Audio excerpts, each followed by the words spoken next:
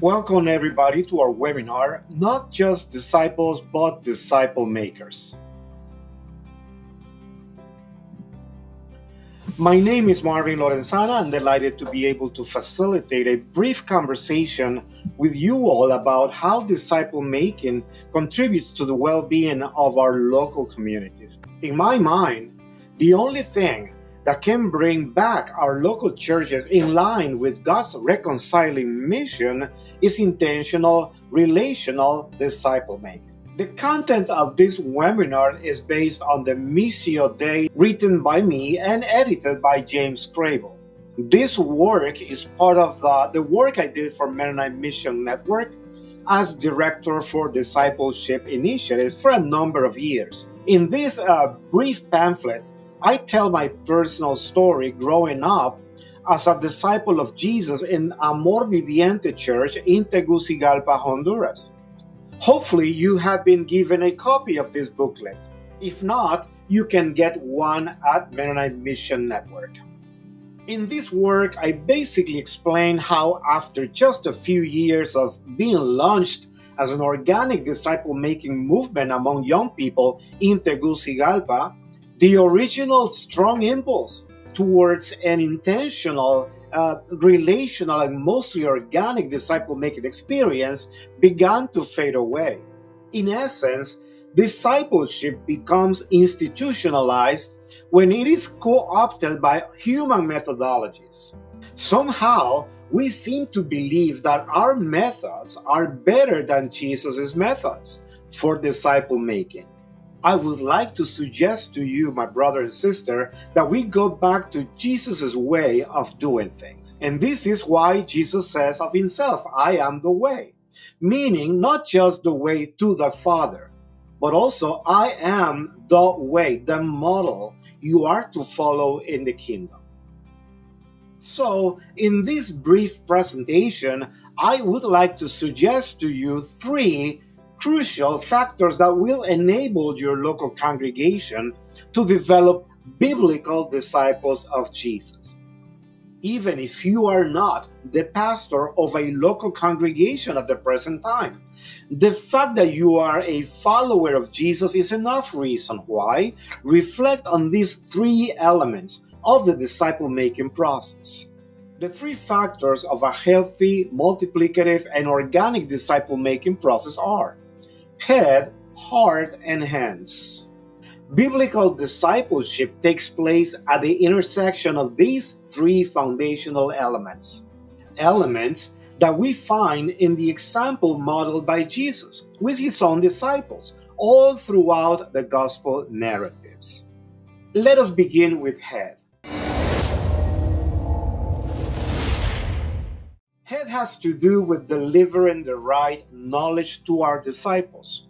This is important because he, Jesus, was a teacher, a rabbi to, to the disciples. Someone who wanted to make sure they knew how to think rightfully about what the kingdom of God was all about.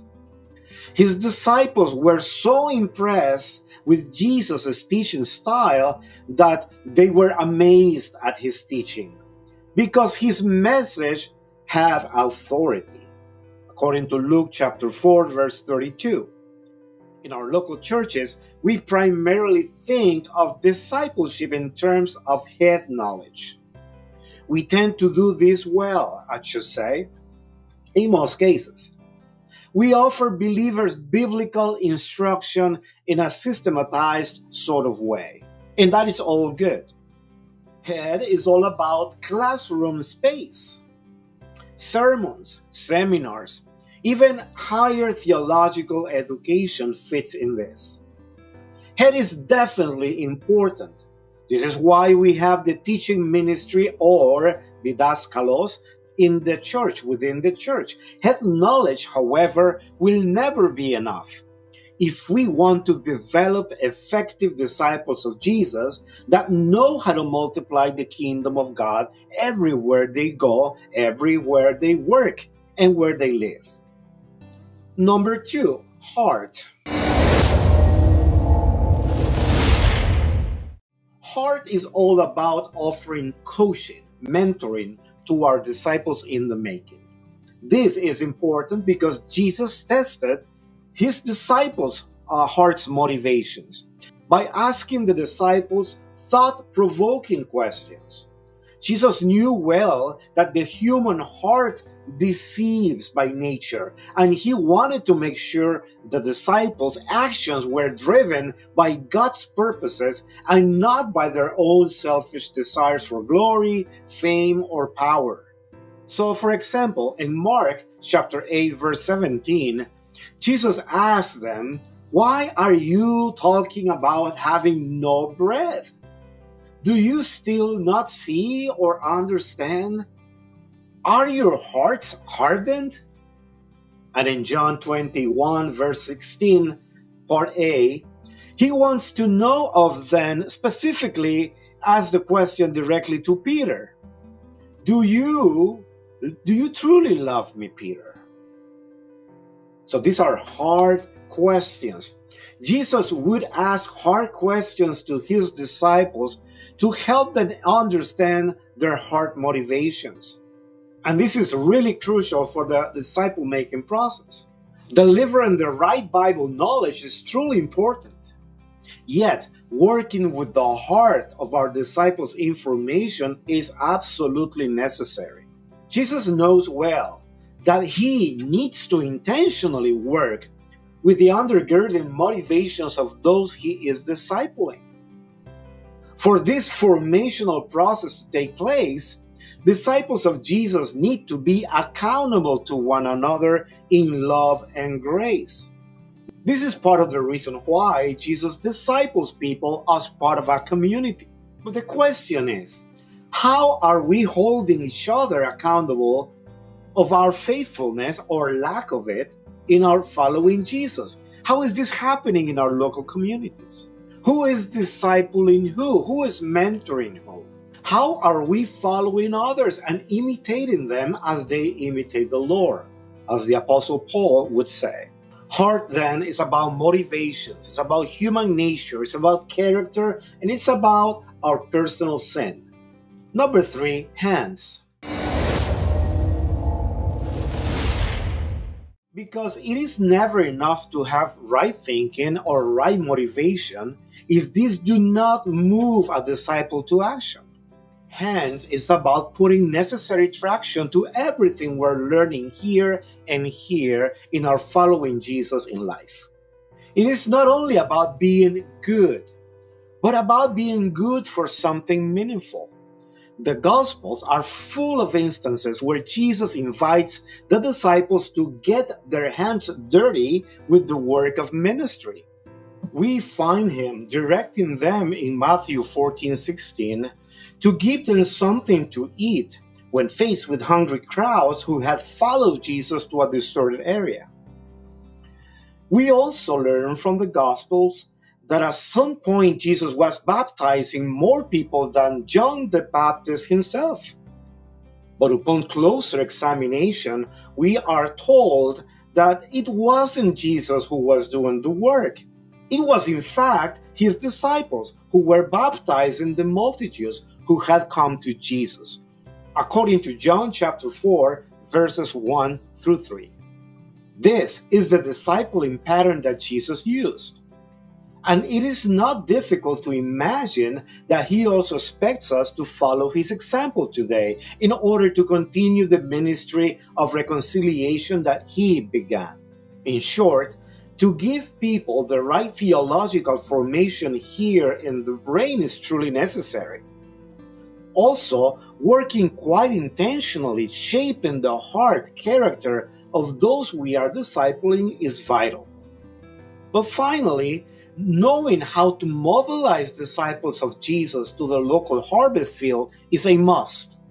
Brother and sister, we need to learn how to use this tridimensional uh, model for disciple making, a model that involves head, heart, and hands.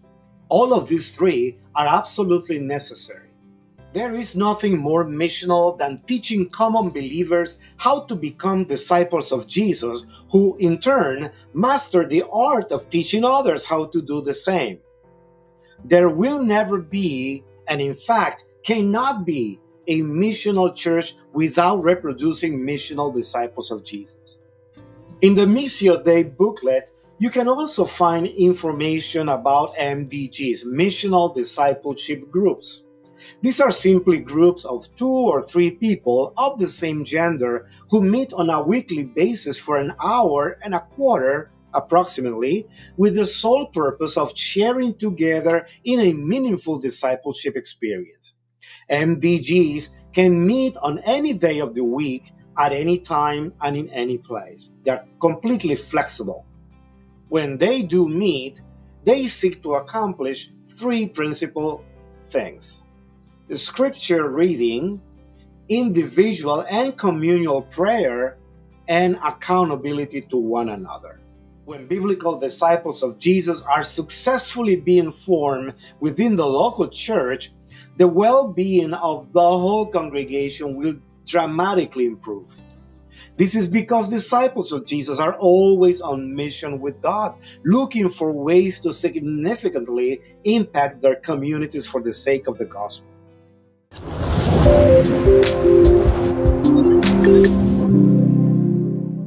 Now, how disciple making has the potential for transforming your local church?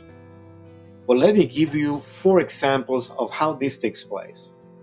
The first benefit you will find when making disciple making the mission of the local church is personal transformation. It's that simple. Yes, it all begins with you making disciples of Jesus on a regular basis. It has to begin with you. You and I know that people will not do it unless you do it. And this is why it's so important that you make it a priority in your ministry as soon as possible. The simple fact of implementing a tool that is reproducible, such as MDGs, in your local congregation could be enough to launch your local church in a new direction. Everything, however, begins with you.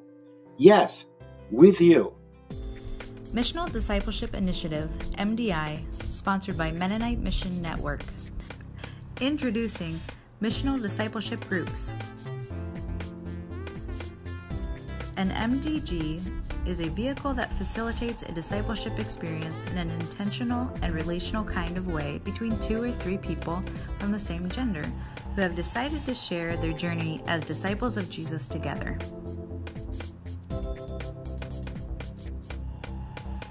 Jesus said, For where two or three gather in my name, there am I with them. Therefore, an MDG might well be the most basic expression of church there is.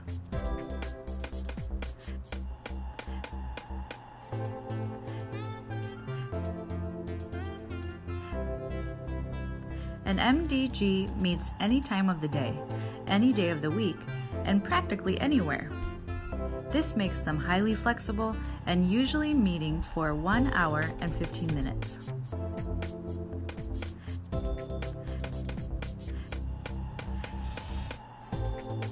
MDGs gather around a specific agenda that includes accountability, scripture reading, and prayer. For accountability purposes, five questions are asked every time they meet. For example, Where have you seen God at work this week? Or what did you hear God say to you during your prayer time this week?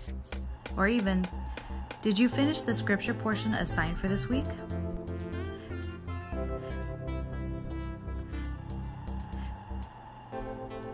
MDGs decide what portion of the Bible they want to read together and commit themselves to do it.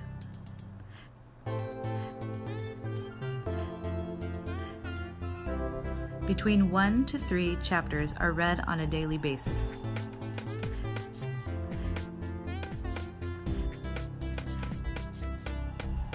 Prayer is supposed to happen both individually as well as communally.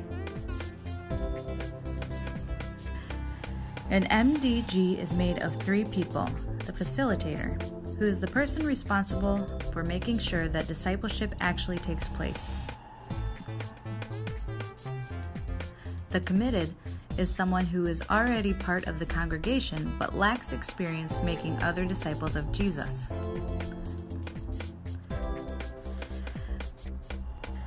Finally, the new, who is somebody who is new to your congregation, or even better, someone who is not part of your congregation yet, but is hungry and thirsty for God.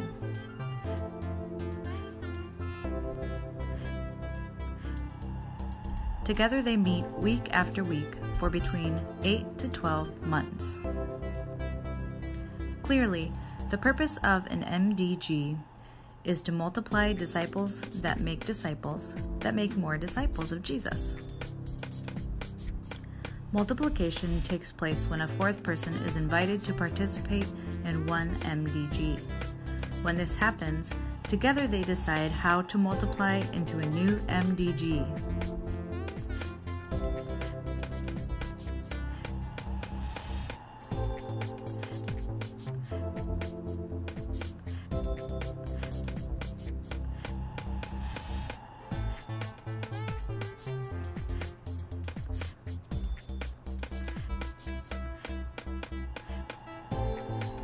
Once they do multiply, roles will change, yet the purpose remains the same, which is to find and then disciple the new.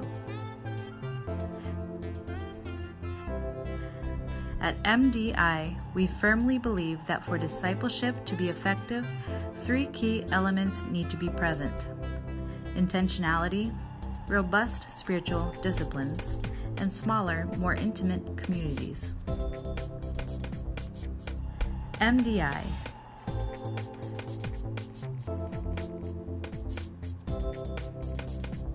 Sparking the flame of an intentional, relational discipleship culture in the local church.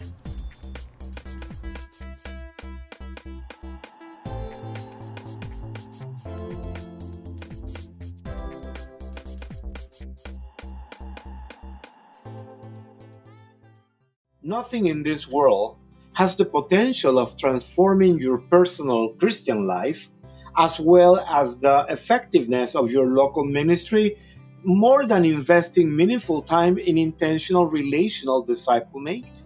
If you make this activity a priority in your life, you will be transformed from within and it will be noticed by people in your local church.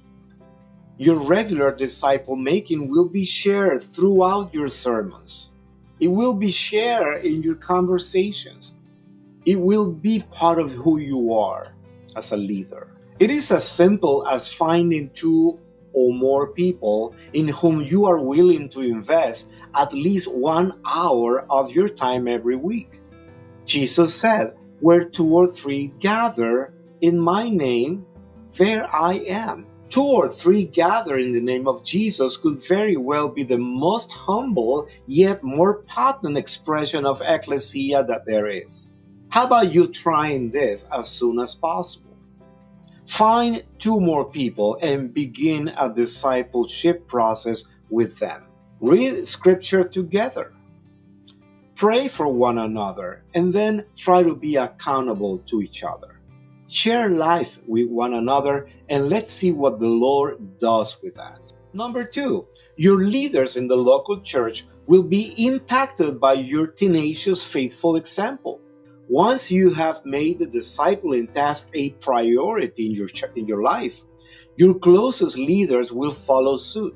In reality, they all have been waiting to see your example all this time, and surely are, in most cases, more than willing to follow your lead. But you have to begin. Leaders will be developed as they also engage intentionally the disciple making task. Number three, as a natural result of people in the local church participating in MDGs actively, significant pastoral care will take place.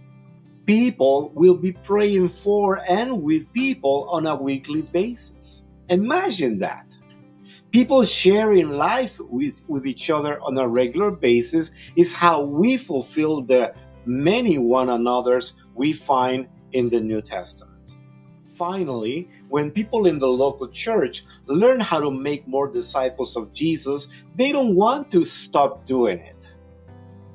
There's nothing more exciting to a believer in Jesus than seeing others become followers of Jesus themselves people don't want to stop. They want to be mobilized towards their local harvest fields. This is the way that believers impact their community by going out. This is exactly what Jesus says go out and make disciples. For some reason, however, we tend to hear stay here in the local church, but the commandment is to go out, find them, find them and make them disciples of me. That is the Great Commission. So, in synthesis, four important benefits of making not just disciples, but disciple makers are. First of all, personal transformation. It all begins and ends with you, the leader. Secondly, leadership development. Your leaders will follow you in your pursuit of discipleship if you are serious about it. Number three, meaningful pastoral care will take place in the local congregation. And four, mobilization. Disciples of Jesus want to go out. There's a there's a natural impulse for going out. It's a natural reflex. Moving out in the, into the community and finding people who are hungry for God is what they want to be about. Let me end this presentation with this important video that stresses the need to go back to making disciples in an intentional, relational kind of way. I'll see you on the other side of the video.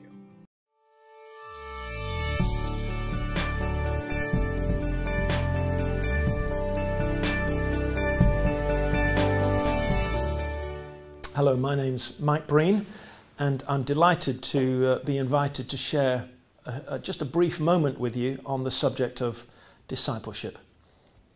Discipleship, of course, goes back to Jesus. He called his first followers to be learners. That's what the word disciple really means being learners, people who will learn the life of Jesus, not just what it is that he knows, but learn to be who it is that he is. That's the key. Being a disciple is more than just information, it's also to do with imitation. When Paul was writing to the Corinthians in 1 Corinthians chapter 4, he said, You have many guardians in Christ. And that word is a very interesting word in the New Testament. The, the word is, uh, is pedagogos. Uh, it means the, the person that takes care of children and trains them in their letters and numbers. Paul says, There are lots of people in your life who can do the job of giving you good information. But then he goes on to say, He says, But you have very few fathers. And then he says, Because I'm your father, I want you to imitate me. Imitate my life, because by imitating my life, you'll be imitating not only what I do, but also what it is that I believe in. And so he sent his disciple Timothy to them so that they would see again in the life of another disciple what it means to be a disciple of Jesus like Paul was. So it's, it's really important that as we look at the subject of discipleship, that we recognize that yes, it is vital that we have the right information about Jesus, and of course we get that from the Bible. We get that from the New Testament, from the Gospels. We have the right information, and that information, the Word of God, is forming us and shaping us the way that we think. But also, we have models that we imitate.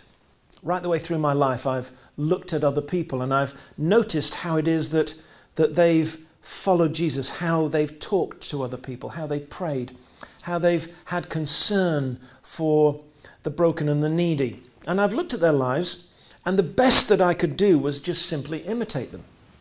Now, you might think that imitation is an insincere form of spiritual formation. You know, you're, you're imitating the life of another person, and um, you may not believe what it is that the other person believes. But of course, you can act your way into thinking correctly about something. That's what you do with children. That's what, um, that's what people do in lots of other areas of life. Think about driving a car.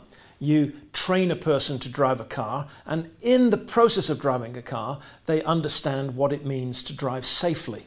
Now, if you gave them a long course on how to be safe before you actually taught them how to drive, they may never actually become a safe driver.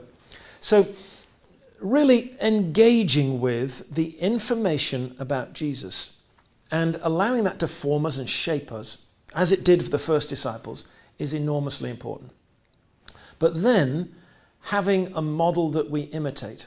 We look for other people and we look for their lives and we say, I'm going to imitate that particular characteristic in that other person because in that characteristic, they look like Jesus. Now, of course, uh, then it may come to us. Maybe some folks are actually imitating us. Well, the truth of it is, of course, that, that everybody's imitating you in your life to one degree or another. Uh, the way I've often described it is this that all Christians look like shepherds from behind and sheep from the front. You know, if you, if you look over your shoulder, you'll generally see somebody else who's looking to you for an example. There's at least one other person. And when they're looking to you for an example, they're looking to you for a pattern that they can imitate, a model that they can imitate. Now, those of you who are Wesleyans will know that this is foundational to being a Wesleyan Christian. This is the way that Wesley functioned right from the very beginning with the Holy Club and then on through the, the small groups uh, that they, they called class meetings and societies in those days. They were the places where mature Christians offered their lives not as a perfect example, but as a living example of what it means to follow Jesus.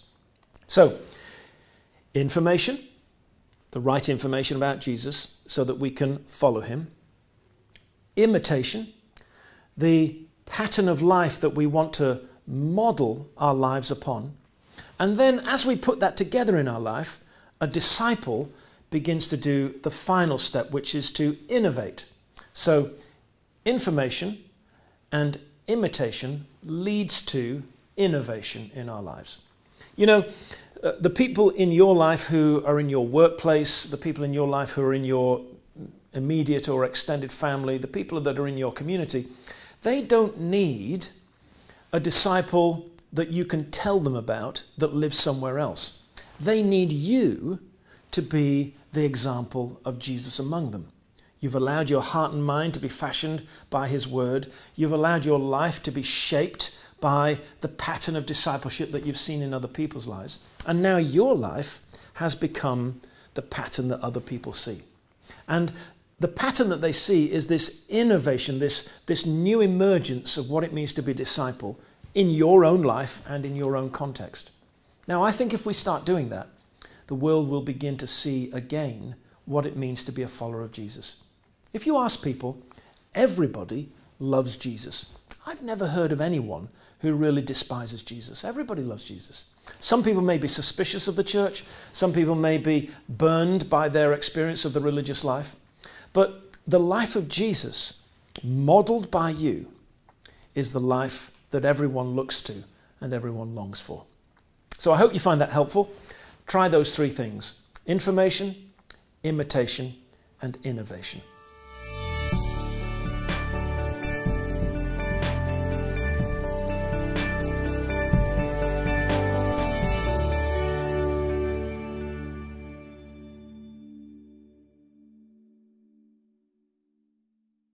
Thanks for joining us in this presentation about how disciple making will improve the well being of your local congregation and even the city where you happen to live. I'll be happy to answer any questions you might have right now or later today, or simply to listen to your comments and responses to this presentation. Let the Lord bless you with His peace and keep you safe in the midst of this pandemic time. Thank you so much.